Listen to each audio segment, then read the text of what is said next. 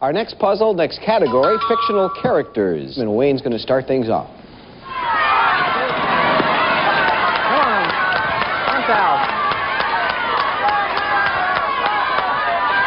300. May I have an R, please? Yes, sir. One R. There's $300 for your pick.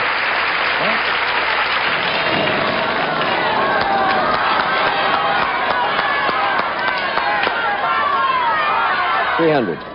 May I have a T, please? Sure. One T. Close. Keep it up.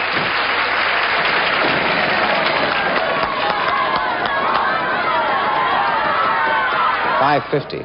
May I have a C, please? Mm-hmm. One C, and little by little, you're getting into some nice money here. Go ahead.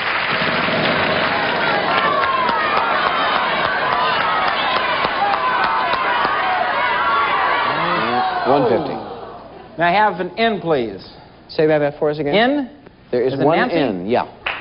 Okay. Want to be sure we got that right. Thirteen hundred dollars. The big money is 700. Four fifty. May I have a G, please? Ooh, there's no G. And Anita, we go back to you. Okay.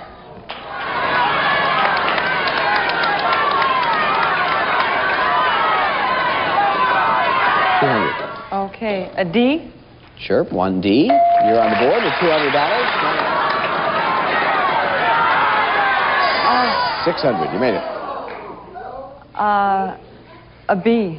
One B. There you go. Eight hundred dollars.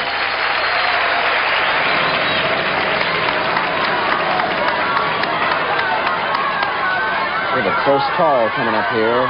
Four fifty. An F? No, no F. Now, Paula, come on.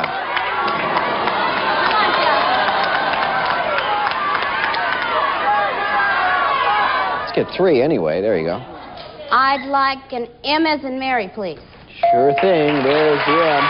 All right, everything else is a vowel for $450 plus that terrific jade. identify these fictional characters. Meow, here. That's it. Hey, nice go. Meow, meow, here.